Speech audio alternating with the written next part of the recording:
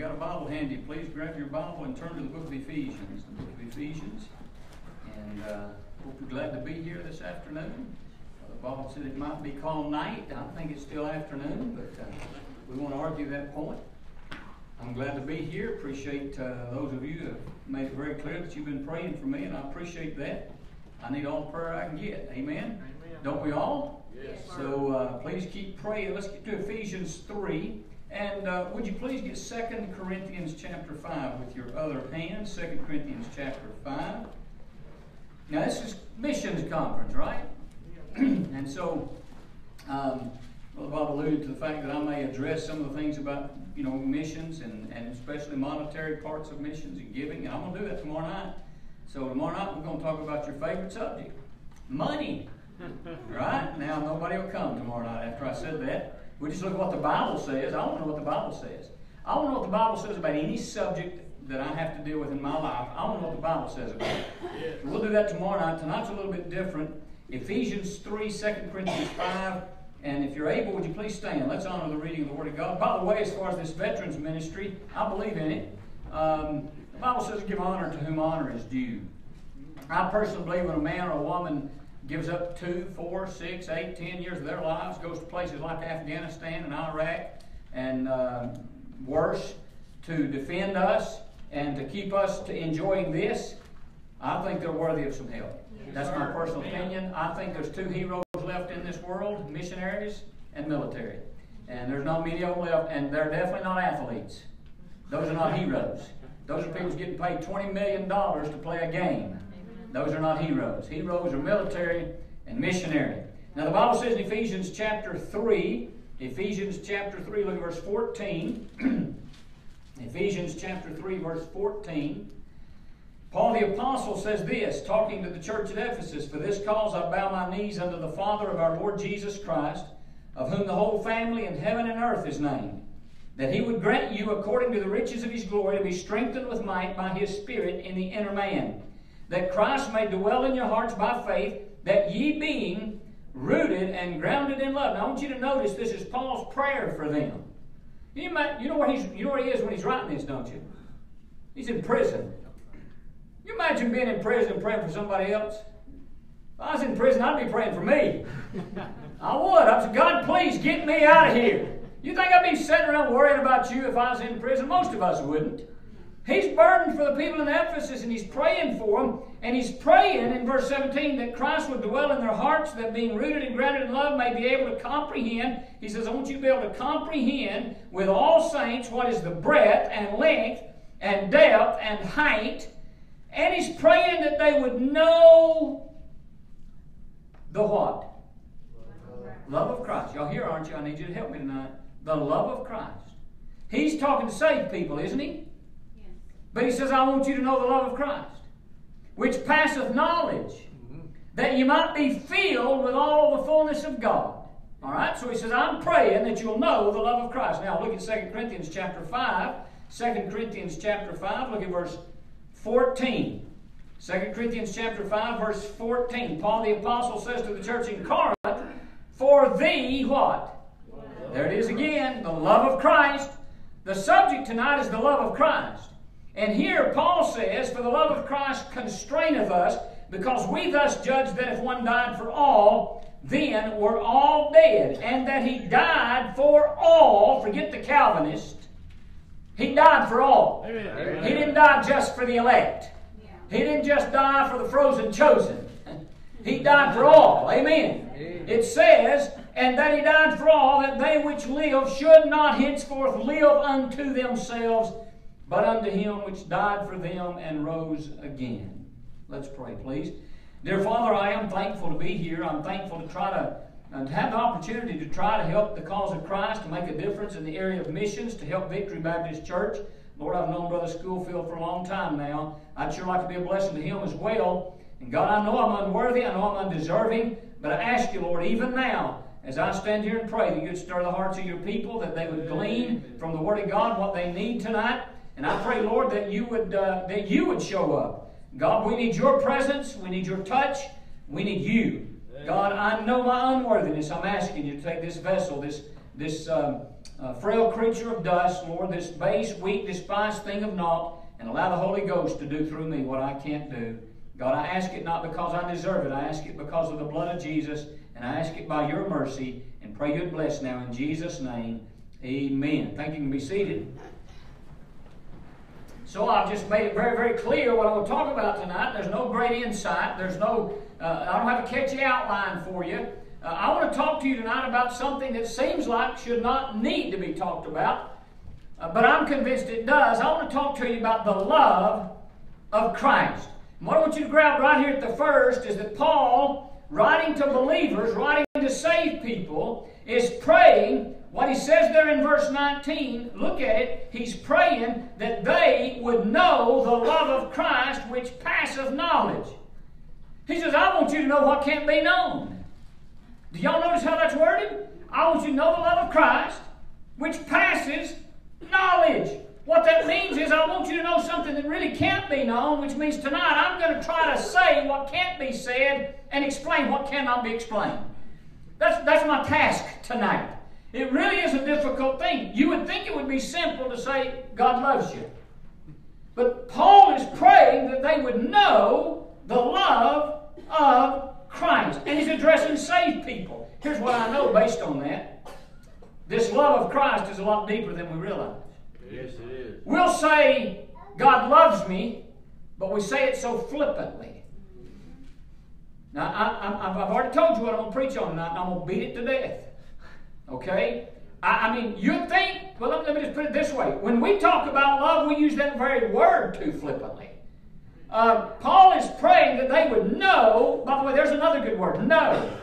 The Bible says Adam knew Eve, and then she had a baby. That word know is a lot more than just knowledge. It's a lot more than information. There's, excuse me, there's something deeper about it that has to get down in your soul. And Paul is saying, I'm praying that you might know the love of Christ. It's a knowledge beyond salvation. If you're saved, this won't hurt you. Say amen. amen. Okay? So you know God. God knows you. But after you get saved, Paul is praying you'll know the love of Christ which passeth knowledge. This is a lot more than just being saved. What's indicated, by the way, in this verse 19 is if we knew the love of Christ like we ought to, we might be filled with the fullness of God. Yeah. I don't know many people that are filled with the fullness of God. Now, I'm not talking about being saved, I'm talking about the fullness of God. And Paul's talking to saved people, saying, if you knew this, you might be filled with the fullness of God. So all of this is just deeper than we think. Love is deeper than we think. Somebody said love doesn't make the world go round, it's just what makes the ride worthwhile. I would agree with that. Somebody said love is an act of endless forgiveness. Not bad. Love is when the other person's happiness is more important than your own. That sort of hurts me a little bit. I got to be honest, I think women have an easier time loving than men do. I think men are too selfish. Love is when the other person's happiness is more important than your own. Someone said passion is momentary, but love is enduring. I like this one. Somebody said, Love, like the measles, is more dangerous when it comes late in life.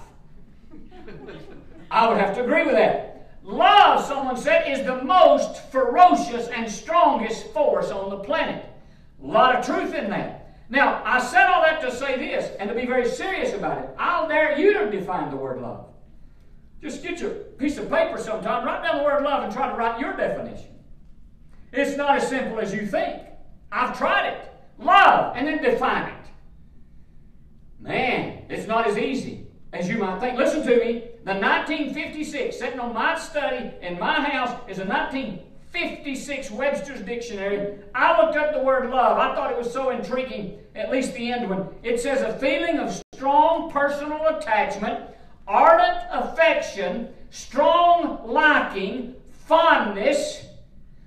Here's what I thought was interesting tender and passionate affection for one of the opposite sex. That's in a dictionary. That's not how America defines it anymore, is it?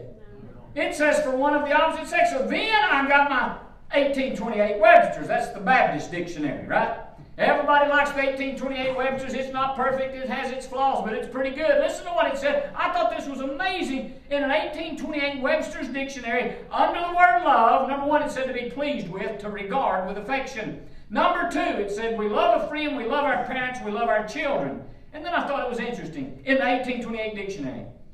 We love cool shade in the summer, we love a warm room in the winter. The Christian loves his Bible Dictionary talking here. Not a preacher, not a commentary, a dictionary. Listen to what he said in the dictionary. The Christian loves his Bible. In short, we love whatever gives us pleasure and delight. And if our hearts are right, we love God above all things. An 1828 dictionary says, if my heart is right, I love God above all things. But as Americans, we say, I love books, I love ice cream. I love sports. I love my truck. I love to shop. I love my shoes. Oh, I just love your hair. We love everything, right? That's just who we are. We use that word sort of flippantly. We use that word sort of loosely. But again, the question is how to define this thing love. So then I pull out my etymology dictionary. That's my favorite book. I've got a 1956, 1828. But then I pull out the word, the etymology dictionary, which gives you the origin of a word. And I thought it was so interesting, Brother Schofield. I looked up the word love in that etymology book, and it said, see the word leave. L E A V E. And I thought, what in the world? And then it dawned on me. Therefore, shall a man leave his father and mother and cleave isn't that what it says? Unto his wife. Is it possible that love means you might have to leave something? Or someone? I've got four children. My son Jacob was the first of the four to get married. He's not the oldest of our children, but Jacob and I were uh, very close as he was growing up. Jacob and I did everything together. We are still very close. By the way, he's going to come tomorrow night, and he and I are very close. And uh, I don't know that a father could be any closer to a son than me and Jacob. It's just, it's a blessing. And uh, we, we hunted together, we, we fished together, we worked on projects together, we worked on trucks and four wheelers together, we went street preaching together, we knocked on doors together. Me and Jacob were very close. I mean, I don't know that life could be any better for a son than it was for Jacob living in my house. Free rent, free meals, best company in the world. And then a 16 year old girl from Texas showed up. and this son that acted like I hung the moon all of a sudden didn't know I was in the world. Oh, he was so preoccupied with this good looking girl from Texas. You know what he did? Moved out. Some other powerful love showed up in his life. And then, of course, I had Stephen. That's my oldest son. I thought, well, at least I still got him around. That didn't last long. Some girl from somewhere showed up. and Stephen left me. But see, I know real love. Girls love daddy. See, I got two girls, and they used to go around when they was five years old. And you know what? I'm serious as a heart attack. You know what they'd sing? I'm going to marry daddy when I grow up. I like that song. That's all that they'd come around the house saying, I'm going to marry daddy when I grow up. Lied like a dog. Man alive, Kelly, my oldest daughter, uh, she was getting to be about 26, 27. She said, Daddy, I'm just going to be an old maid. Nobody's ever going to marry me and all this stuff. Next thing you know, the right guy said the right word. And Kelly just said, Daddy, bye. And then my youngest daughter, and she's the one that, I mean, I rocked her until I couldn't even stand up after I got through rocking her to sleep. I rocked her until she was probably 12. I'm exaggerating just a little bit. But me and her were real close, and she loved to be with me all the time. One time she told me, she said, Daddy, I can never get married because I couldn't marry, I couldn't love anybody like I love you. I like that. She lied. Why? Because somebody showed up, some old sorry bum. I mean, not worth shooting, showed up and showed interest. And Amy said, Bye, Daddy. Oh, that was tough. But you know what? That, that taught me something about this word love when I saw that word in the etymology dictionary. Leave. In 1978, I married Rhonda. We've been married for almost 46 years. And And uh, she had a good home and a good family and a good mom and a good daddy. I didn't have it. I had a drunken daddy who beat my mom and beat the kids. And I was around shooting and, and, and, and knife fights. And all of my life was just a mess. But Rhonda grew up in a great home and a peaceful home, a joyful home. And went off with me to Texas. She left something so wonderful. Because love, evidently, based on what I can tell, based on my understanding of what I've read in the Bible and what I've read in other places to try to understand this thing, is love might cause you to leave a lesser love. It might cause you to leave a different love. I mean, what kind of love would leave heaven and holiness for the likes of us? What kind of love would do that? You and I probably know examples better than we know definitions. The greatest example, perhaps, of love in the Bible is Genesis 22. It's the first time you find the word love in the Bible. You know this stuff.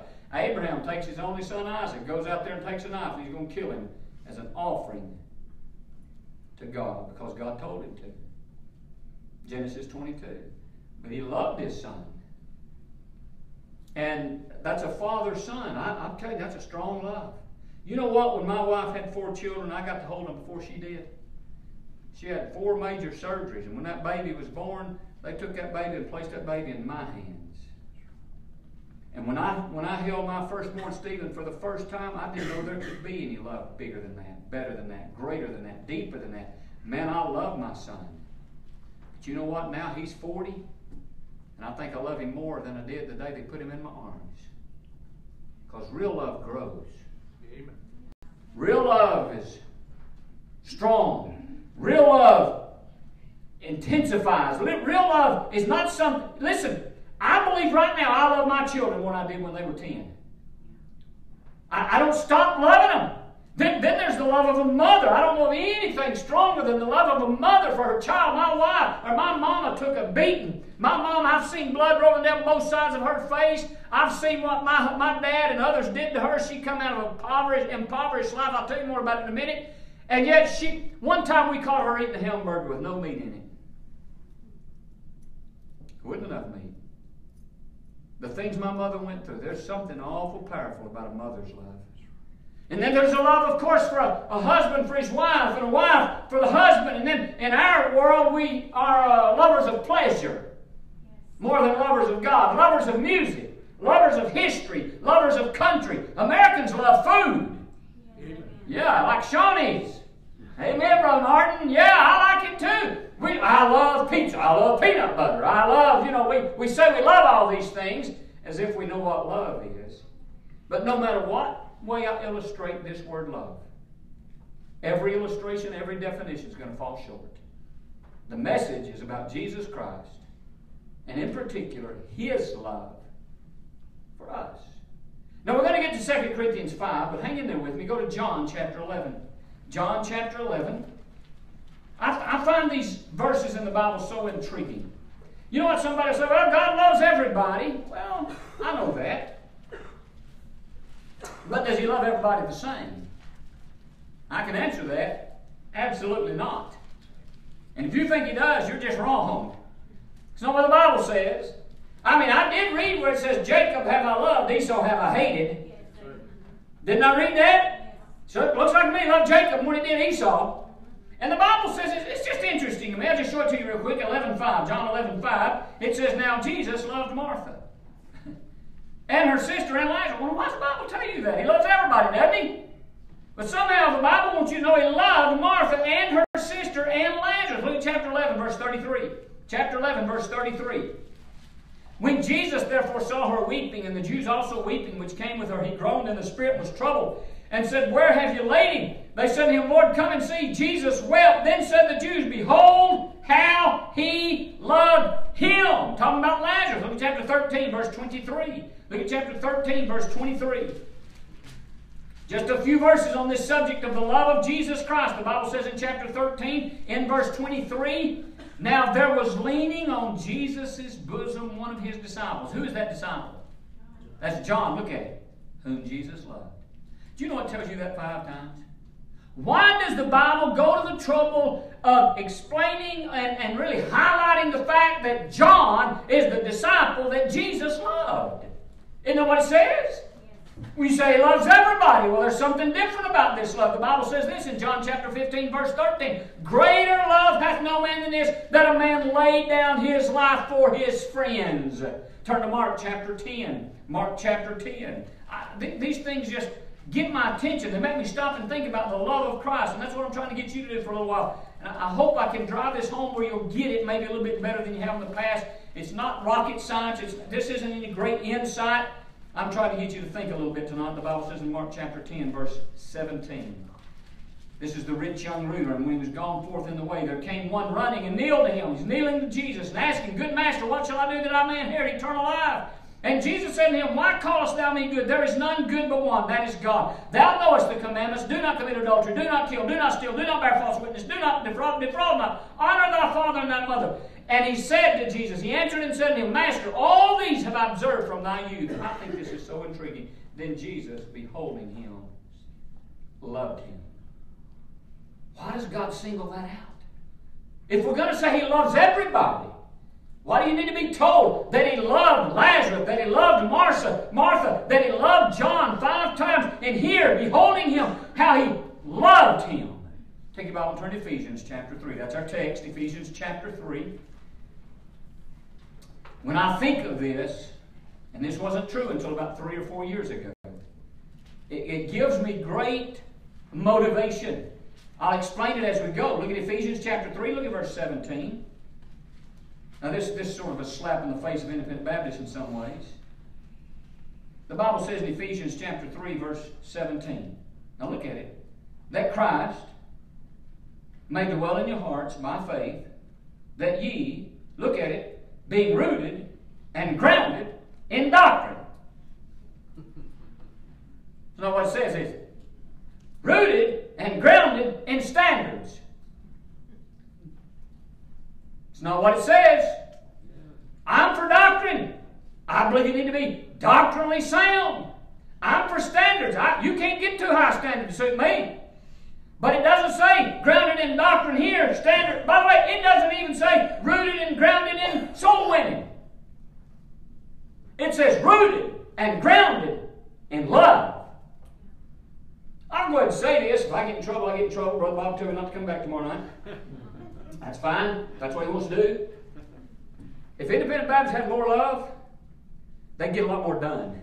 Amen. They're more interested in attacking the person that disagrees with them about, uh, I don't know, bluegrass music or the Gap. I know where I stand on the Gap. And I don't care whether you agree with me about it or not. I can still love you, and I can still work with you, and I can still support you as a missionary if you disagree with me about the Gap. If you disagree with me about Christmas trees, I'm still I can still support you. Amen. If you disagree with me about Easter, I'm still support you. I'm supposed to be rooted and grounded in love. Isn't that what it says? Now bear with me. Look what it says next. Look at it. Follow along. Verse 18. This is intriguing. I got to get your help on this one. It says that if you're rooted and grounded in love, you may be able to comprehend. This is such an amazing verse. Comprehend with all saints what is the now get it? What is the breadth and length and depth and height of what? The sin, it, it, then it goes on saying the love of Christ. But it says that you might be able to comprehend what is the breadth and the length and the depth and the height of what? It evidently means the breadth, the length, the depth, and height of the love of God. The love of Christ, right? Now I'm glad you got these boxes in here. We're going to talk about it. Breadth, length, depth, and height. Okay, which one is the breadth? You want to guess? Me too. That's about what I think. Go ahead and tell me, brother. Uh, This this part. This is the breadth. Yeah. Okay, what's the length? well, Oh yeah, uh-huh, yeah, well, you got me. yeah. You got which one's the breadth, brother Bob? This is This is the breadth, This is the length. the length, This is depth. depth. This is height. Ah, okay. So the depth and height are the same, Basically. Basic. You know what I think? I think he might be right, but I also think that there's such a dimension of God's love that you can't even describe it. Good point. I think there's a fourth dimension that we don't even comprehend. Good point. Yes, sir. Now, I, I agree, Brother Bob, if I'm in Christ, okay, then there's the breadth and the length and the depth and the height. And, and, and all those dimensions are relevant. I, I wouldn't argue that point, but I think what he's saying here is for the most of us to know this breadth, length, depth, and height of the love of Christ. It's just incomprehensible. We, we can't even explain it hardly. But I'm not through. Bear with me. I would say that this love is, first of all, a love of compassion. Now, I want you, I want you to hang in there with me. Hey, do you believe God loves you? Say amen. Okay, then it's a love of compassion. It's not a love of admiration. No, no, it wouldn't be that. Would you agree with me? It's a love of compassion. It's not a love of appreciation. God didn't look down and say, now, oh, now there's a catch. Can I tell you something? You're not a great catch. Amen. Amazing grace, how sweet the sound that saved a Red. wretch like me. Amen. You're not a great catch. Not a catch like me. Sorry, brother, that won't work. You wished it was. You ever said this? You'll see some guy with some girl, and you'll say, What in this world did she see in him? Amen. Some real good looking girl running around of these boys back here? you think she must be blind. Or it's the other way around. I mean, good looking guy, and he's got this girl, and you're thinking, man, what's he seeing her? She looks like a fence post. what in the world God see in us? That's Good point. We're trying to figure out the love of Christ. I'm saying number one has to be a love of compassion. Number two, it's a love of action. Real love must act. Yes. Real love does something. The Bible says in John, 1 John 3 18, love, let us not love in word, neither in tongue, but in deed and in truth. Real love will act if it's real love. It's a love of action. Let me say number three, it's a love of fruition. It's a love of fruition. Love does something. Love has an effect on its recipient. Please hear me. His love changed my life. His love delivered me from hell. His love saved me from the guilt of sin and the curse of the law and the power of death. His love did something in my life. It transforms, it motivates, it comforts. His love is so powerful, it produces fruit. It's a love of compassion, it's a love of action, it's a love of fruition. And again, I would say the breadth, His love is as wide as the world or as far as sin has reached. And concerning the length, His love was before time and it'll be here after time. Amen. And concerning the depth, it stooped all the way down to this cursed earth and even into the lowest hell. And concerning the height, it reached to the highest heaven, sprinkled blood Oh, in heaven to wash my sins away. thank God. It's incomprehensible. You know, men want to explore the depth of the ocean, they want to explore the solar system, they want to explore the human brain, they want to explore weather patterns. Why don't they study and explore something a lot more valuable, a lot deeper, a lot Yes, broader, a lot yes, higher, yes. and decide I'm going to comprehend, study, think about, meditate on, I'm going to dwell on until I figure out the love of Christ. That's right. 2 Corinthians chapter 5. We're getting somewhere. Some of you are hanging in there, and some of you, you ain't hanging too well. 2 Corinthians chapter 5. We'll start with verse 8 this time. We started back down there in verse 14 a little while ago. 2 Corinthians chapter 5. I'm trying to get you to think about the love of Christ. 2 Corinthians chapter 5, verse 8. Paul says, We are confident, I say, and willing rather, to be absent from the body and to be present with the Lord. What's this? Paul says, Wherefore we labor that whether present or absent, we may be accepted of him. Question Is Paul saved when he writes these words? Of course he is. And yet he says, I labor, I strive, I work, I sweat, I go after it so that I'll be accepted of him. It's interesting, isn't it? That word accepted is simple. It means that I might please him.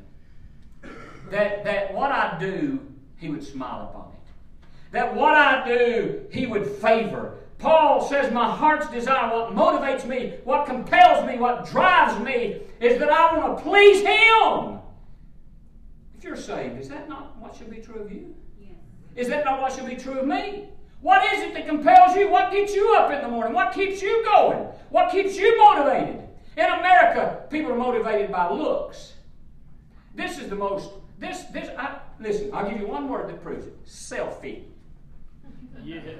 I've never seen a generation like this generation, always taking pictures of themselves. Cool. Well, you can go ahead and get in the altar, I don't care. It- It's really, we really are stuck on an image. And everybody wants to look a certain way. And usually it's dictated by what Hollywood says. I want just, hey, I was thrilled to death when I walked into all these young teenage boys. I mean, they reminded me of what I looked like when I was their age. Amen. Great. Amen. Hey, guys, I just want you to tell you, when I was 18, I was the best looking guy in my school. I know y'all can't believe that right now, but I was. You ask my wife. At least I thought I was, okay? and, and, you know, we, we just got this image and we want to look a certain way. I just want to tell you guys something. Somewhere around 35, it's going downhill. You're wasting your time. I mean, all them muscles turn to fat, and everything in the chest goes to the gut. Amen. Right, Brother Bob? Oh, yeah. In other words, you can work on your image all you want to, but you got about 10 or 15 good years, and it's all downhill after that. Amen. Ain't much you can do about it. I'm just giving you the honest facts. And then, and then people are motivated by sports. They want to be a great athlete, the best athlete one of these days. They'll have to help him to the bathroom. That's true. Yeah. And then they're motivated by intellect and degrees and learning and getting all of this college stuff. Listen, do you realize if you live long enough, you probably won't even be able to call your wife's name? That's very true. What I'm saying to you is we're driven and motivated by things that are so temporal. But if we live to please God, it would last for eternity. Paul said, I'm living, I'm striving, I'm working, I'm laboring in order that I might please Him, that I might be accepted of Him. Then he says in verse 10, he says, For we must all appear before the judgment seat of Christ. I just stopped right there. He said, The reason I'm going to try to please Him is because I'm going to answer to Him. One of these days, I, listen, all of you guys, listen to me. One of these days, you're going to stand before Jesus Christ. You're going to answer to Him for what you do with your life. I had a baseball coach in high school, basketball coach. I thought the world of them. They helped me. I went on to play college ball. It was my God. It meant more to me than anything else. And one time when I was a junior in high school, I pitched eight innings. You're only supposed to pitch seven. They let me pitch the eighth inning. It was getting close to dark. We didn't have any lights. And in the eighth inning, my coach, Leo Davis, walked out on the mound, called timeout, walked out on the mound, put his arm around me. And he said, Ron, he said, You got more heart than any young man I've ever. Now, listen, I'm 17 years old. What do you think that meant to me? That meant the world to me. Can you imagine having the Son of God say to you one day, Well done, my good and faithful servant? If a baseball coach who's a sinner just like I am made me feel special because I had done something that impressed him, would to God I might do something in my life that impresses the God of heaven, that pleases the God of heaven, that blesses the God of heaven. And then he says in verse 11, verse 11, he says, Knowing therefore the terror of the Lord, we persuade men. I'm just going to say this. I believe if you loved God, His passion would be your passion. Yes. Amen. If you and I loved God like we ought to and understood His love for us, what excites Him would excite us, what thrills us would hit Him would thrill us. And then we get to our verse. We get to the message, okay? Now, all that was introduction. now, look what He says in verse 14. For the love of Christ constraineth us. Now, when I first read, read that years ago, I probably thought that meant my love for Jesus is what keeps me going. That's not what this verse is talking about. No, this is talking about his love for us. Now, I want you to get this.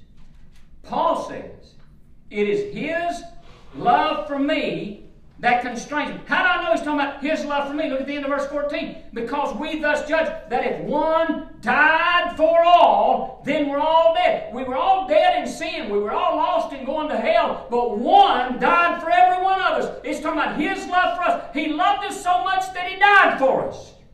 And then if I comprehend that love, look at what it says in verse 14. The love of Christ constraineth us because we thus judge that if one died for all, then we're all dead. And look at it. And that he died for all. Why? That they which live should not henceforth live unto themselves. Mhm. If I ever get a hold of this, I'll quit living for me. So I preached something one time, might have preached it here, I don't know. I know I preached it at Cornerstone, preached it all over this country. And the title of the sermon was The One Thing That Would Fix Everything. That was the title of the message. The one thing that would fix everything. And what I said in that message is that if we love the Lord like we ought to, that'd fix every problem we've got. Oh, yes. If we loved Him like we ought to, we'd serve Him. If we loved Him like we ought to, we'd read a Bible. Love Him like we ought to, we'd treat each other right. We loved Him like we ought to, it would fix a lot of other problems. But Paul's saying something here that's even more profound. He's saying the truth of the matter is, if I would grasp more accurately and more deeply Christ's love for me, listen to me, if I would get a hold of, somehow comprehend His love for me, even when I don't love Him, I do right.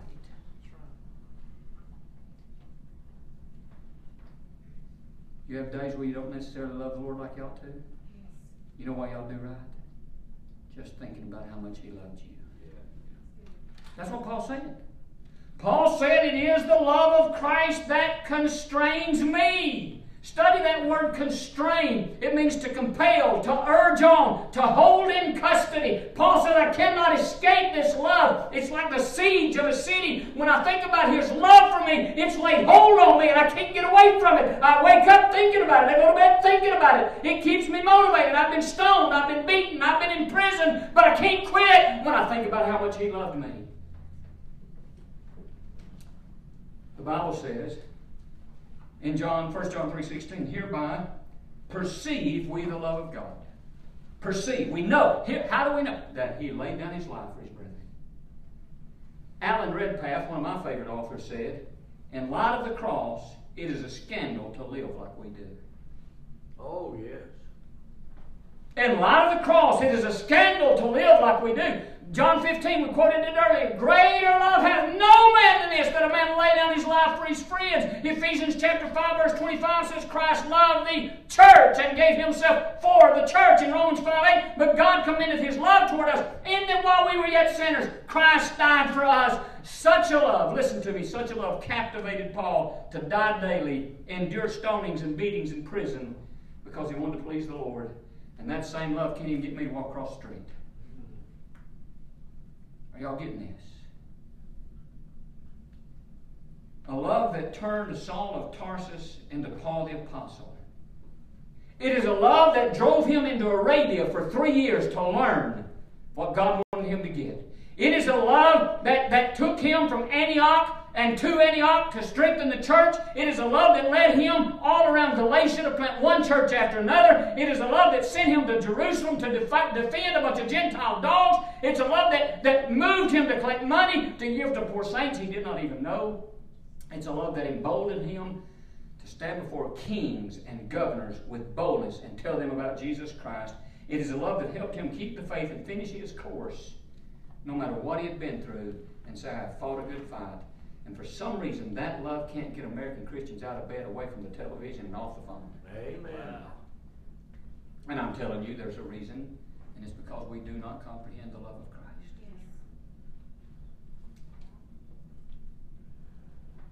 Someone said we have become a generation of people who worship our work, work at our play, and play at our worship. Amen. We're a generation that worship our work, work at our play, and play at our worship.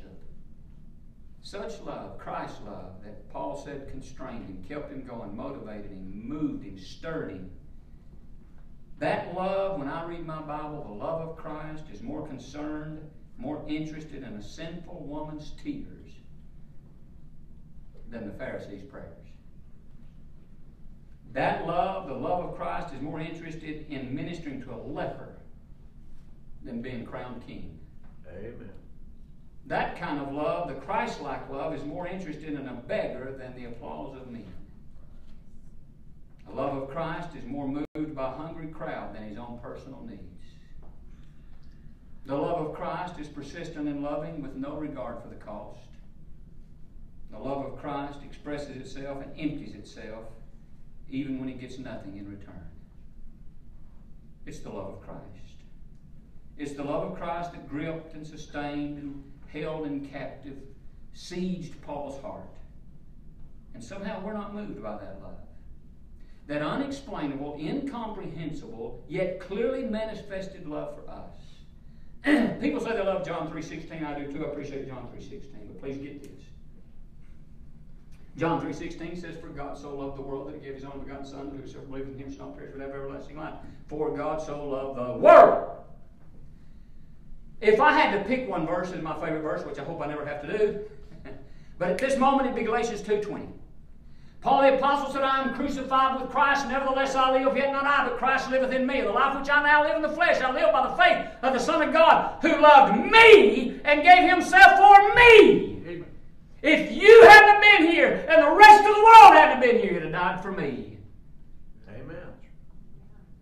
He loved me. He loved you. I don't know if all of you understand this. Maybe there's some people here tonight you've never been born again. Let me let me just throw this in there real quick. Being saved does not mean being a Baptist or a Methodist or Presbyterian or Church of God or Jehovah's Witness or Catholic or a Mormon or a Seventh Day. It doesn't mean any of that. Being born again, being saved, knowing you're going to heaven when you die, is having Christ in your heart. It's trusting what Jesus did for you on the cross. What did He do on the cross? He took your place. Because Jesus Christ was God in heaven, He became God in the flesh on this earth, and He looked forward in time 2,000 years ago. He looked forward in time and saw you and said, I'll go to the cross for Him. I'll go to the cross for her. I love Him. I'll die in His place. He deserves to die, but I'll die for Him. Years ago, a man knocked on the door over in DeKalb County, Smith in Tennessee. And when he knocked on the door, he was door knocking. He was witnessing. And he, a, a man opened the door, and he said, when that man opened the door, and I looked at his face, he said, I cringed. He said, I've never seen anything more hideous, unsightly. He said it just it just immediately ripped my heart out. It, it, he said he didn't even look human. And he said, I tried not to show any expression, but the man invited me in. We began to talk. and he said, We hadn't been talking long until about four or five kids came running in the house and crawling all over him, jumped up on his lap, hugging him and kissing that face. And he said, I was so impressed with those kids and their love for this man, obviously their daddy. He said they loved him so much, but he said there was something even more impressive when I heard the whole story and found out that his house had caught on fire years ago. And he ran into the flames to rescue those kids. And it was because he rescued them that they loved him so much. Do I need to say that again? It's because he rescued them Amen.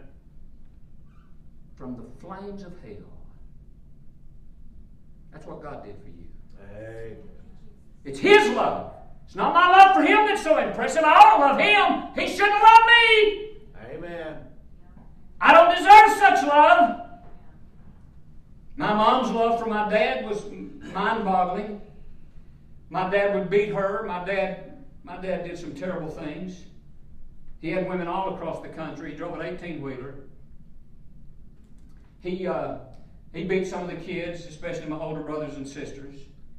And uh, I don't know what I, I, don't know how to explain this. I've got a picture of my mom. It, it's one of my favorite pictures. I got a, I got a picture of my wife, by the way, looking at me like I saw my mom looking at my dad. And there he is in a hospital bed. Most of the time I, he was in, in prison or in a truck. He's in a hospital bed, and there my mom is, faithful to the end. She never left him. I'm talking about beat her with both fists. I'm talking about I, this. No woman would stay with a man like that, but she did. Years after that, my dad died when I was eight, and my mom died when I was 18. And years after, I heard the true story about what happened with my mom. She grew up in unbelievable poverty, and um, I won't describe the kind of life that she had, but when she was 13, he rescued her from that life. And I'm convinced that because he rescued her, she never stopped loving him. You know,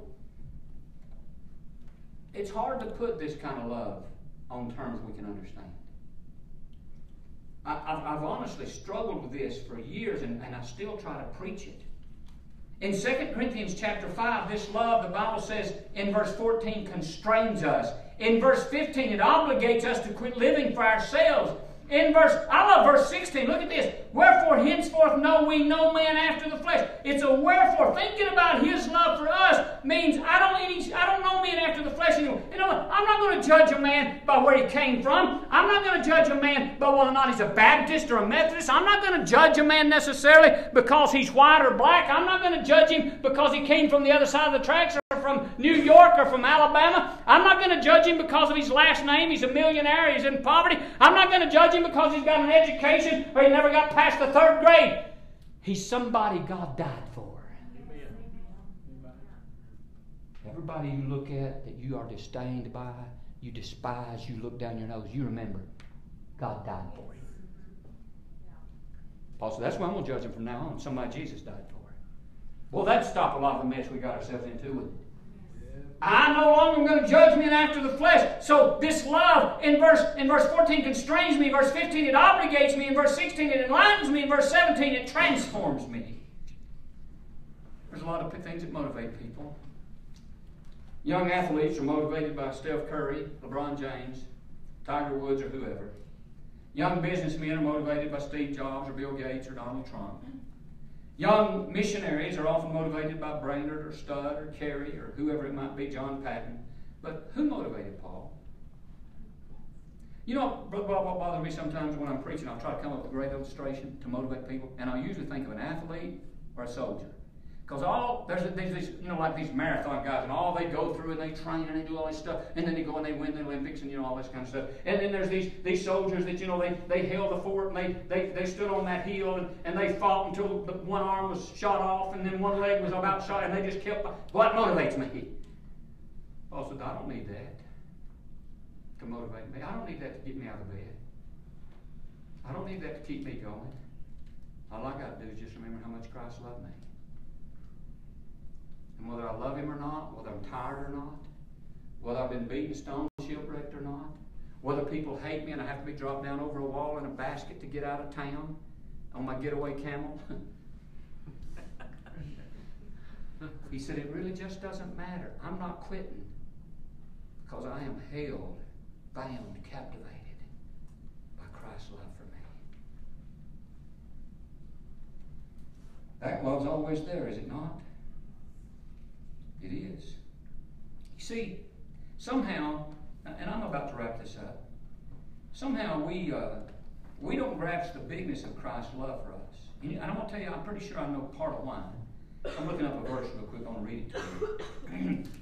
you see, when we love, we think the object of our love is worthy of our love.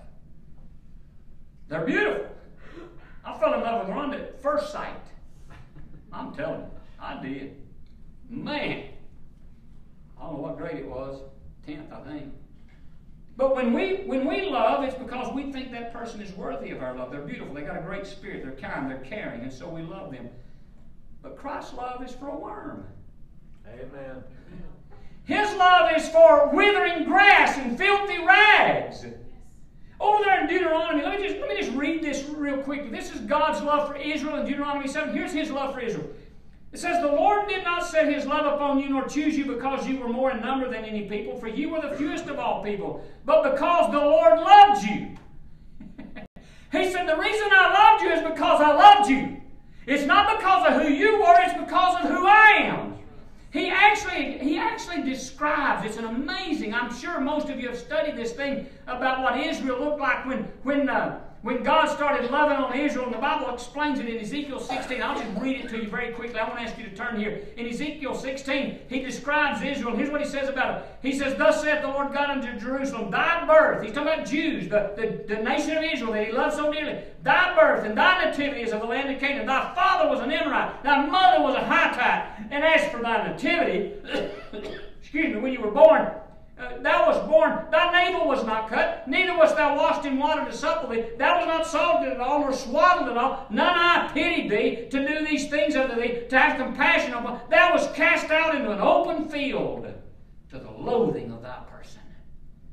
He said, when you was born, you weren't washed, cleaned up, or swaddled. You weren't wrapped and decorated and put powder on you. They just threw you out in an open field and looking like that with blood and filth all over you. I loved you. What love for Israel. My point is this we love because we think the object of our love is worthy. God's love for us, we didn't deserve it. When we love, think about it, it's often because somebody seems interested in us. Probably we'd quit loving pretty quick if they didn't have any kind of return. but Christ loved us and He wasn't even on our radar. He was loving me when I wasn't even thinking about Him. When we love, it's usually someone who has some similar interest that we have. He loved somebody that could not be more unlike Him. You know, a young man will love or think he loves, get married, and about three or four years into it, he didn't know what that love was going to cost him. When Jesus went to the cross, he knew full well what it was going to cost him to love Bobby Schofield. He knew what it was going to cost him to love Ron Ralph. It was going to cost him his blood. It was going to cost him the spitting and the shame and the mockery and the whip and the crown of thorns and the spear in his side and bit on a cross and having his eternal Father forsake him. But he did it for me. That's how much he loved us. He loved us enough to go through all of that because he cared about us and he wanted to help us. And my argument tonight, listen, Jesus knew what it was going to cost him. I cannot explain his love. I cannot articulate his love. I cannot paint a picture that would help you to see his love. But if his love for man can compel and drive and, and keep Paul going, why can't it compel me? Why do I get discouraged just because somebody didn't like the sermon? I get discouraged just because somebody didn't show back up on Sunday night. God, I've been serving you so faithful and they didn't come to hear me preach. I'm quitting. I got cancer. I'm quitting. No. Maybe, maybe the reason I don't appreciate it is because I think I deserve it. Well, I don't. Maybe it's because I don't realize the greatness of it. Maybe, maybe I'm blinded by a love for other things. Amen. That's part of it. You ever studied why maybe we get the Gospels? You know, for example, they say Mark might have been written first, but we get Matthew first. and, and we don't even know the chronology of the New Testament. You ever wondered why God put those four books at the beginning of the New Testament? Matthew, Mark, Luke, and John? I think it has to be so we can see love poured out. Because you don't, you're not going to come into Romans and start telling me how to live my life if I hadn't seen that love poured out. But When I've seen that love poured out, maybe I am supposed to quit living for myself and start living for Him. What I see in the Gospels is the love of Christ poured out on mankind. I see a leper, a leper, and Jesus put forth His hand. I see a beggar. He's calling out to Jesus, son of David, and everybody said, Shh, hush, be quiet, be still, shut up and he cried out the more. The Bible says the sun stood still, the S-O-N, for that beggar. There's a tax collector, the dreaded IRS.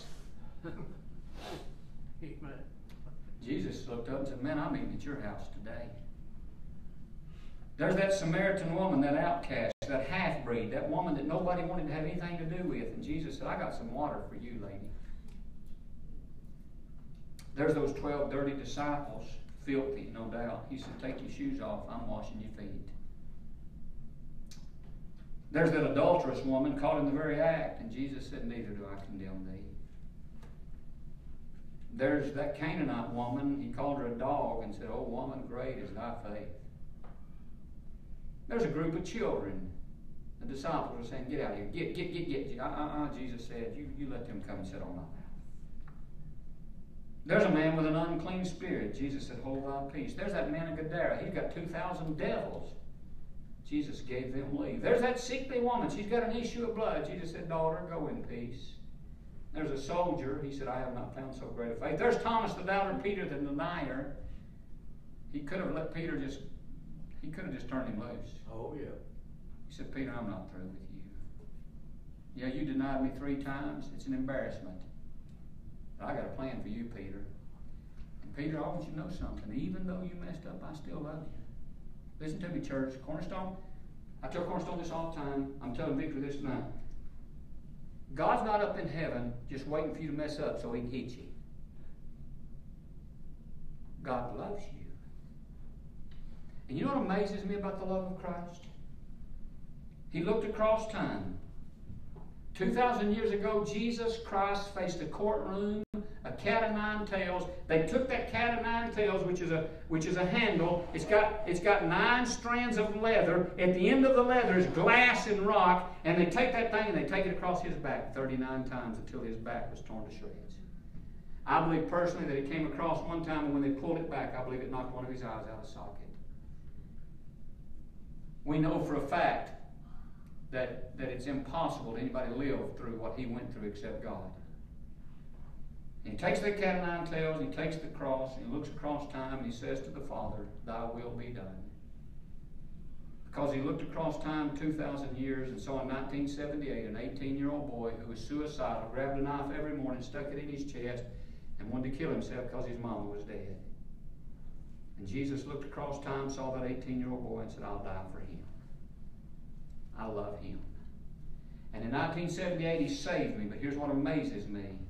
He knew when he saved me that even though I would waste time over the last 45 years and do my own thing and be self centered and selfish, I'd sometimes put him off, wouldn't read my Bible, wouldn't pray, wouldn't tithe, no to God. And he still loves me with an everlasting love. Listen to me. We've got a lady in our church. I'll be, I'll be quick here. She's got five or six kids. And I, she's one of those ladies, and ladies just have a love that I think is, I just think is special. I just think ladies are, they have an easier time loving than we do. And this woman loved her husband deeply and dearly and intimately. He, she practically idolized him. And those children did. They've been married for years. And you know what he did just a few years ago? Just walked out. I mean, just boom, he's gone. For nothing. No reason except his own selfishness. And you know what everybody's wondering? How could you walk away from a love like that? Those kids idolized him, she idolized him, loved him with all their heart.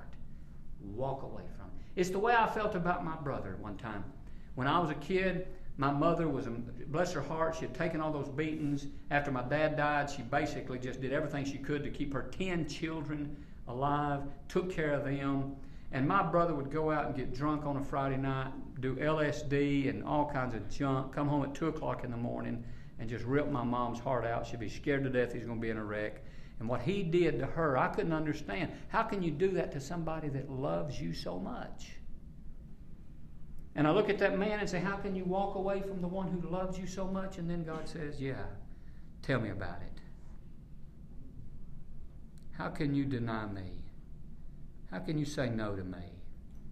How can you not even get up in the morning and not talk to me, knowing how much I love you? And so you see, I really think the problem is not necessarily that we don't love Him like we ought to, though that's true. But the reason is we don't comprehend His love for us. Because if I did, I'd be constrained by that love. Amen. If we could get a hold of this, it'd get us up tomorrow and we'd do right. Amen. Could I ask you to stand with heads bowed?